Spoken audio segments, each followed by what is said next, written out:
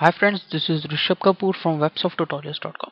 In this tutorial guys, I will teach you about headings and paragraphs. Guys, if you are making any article, then you have to give some heading to it or you are writing any paragraph, then you also have to give some heading to it. I will show you in yahoo.com.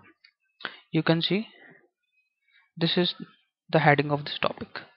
In the same way, we can give the headings in HTML document using heading tags.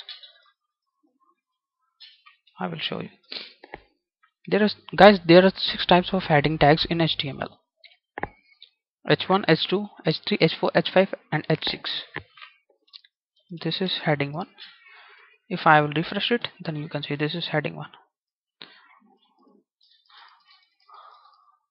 i will we will i will write every heading tag. 3 h4 h5 and h6 2 3 h4 h5 and 6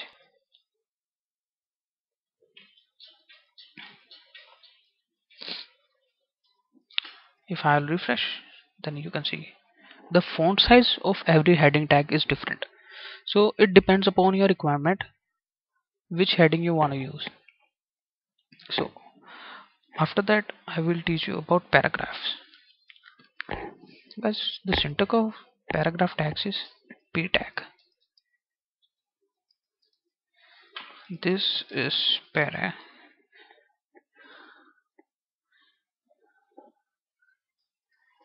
paragraph 1 I will copy it.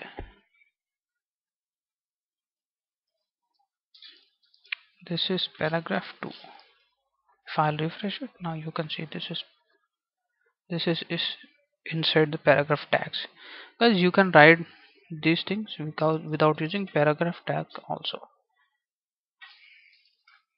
It is still still working but it is highly recommended in HTML that always use tags because HTML is markup language which is used in tags. So in the next tutorial guys I will teach you about hyperlinks and images and how to use images as a hyperlink. So thanks for watching this video guys. Let's see in the next tutorial.